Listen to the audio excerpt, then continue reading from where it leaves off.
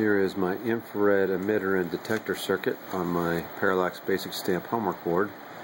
I had a little bit of trouble with the detector in the kit that came from Radio Shack. It was supposed to be both a emitter and detector and for some reason the detector didn't work. See if I can get the part number. Uh, anyway, okay, so let's go ahead and run this. And you can see the emitter on. If I move something in its path,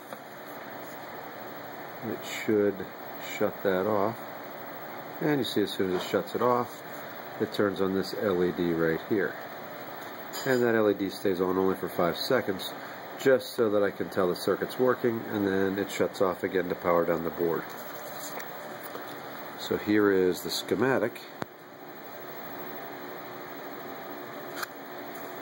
The only thing plugged into VDD is the phototransistor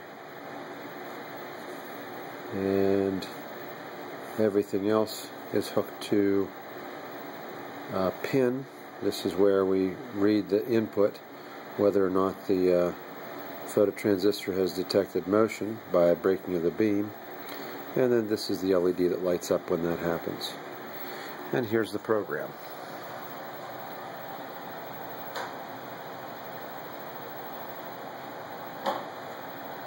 Let's try this one more time.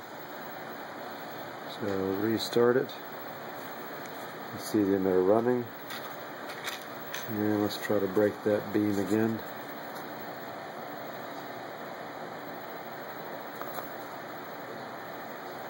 And there we go. Works pretty well.